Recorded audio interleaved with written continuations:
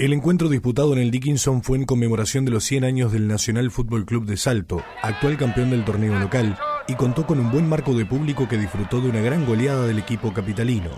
El marcador finalizó 11 a 0, pero más allá del resultado los fanáticos vivieron una fiesta de principio a fin.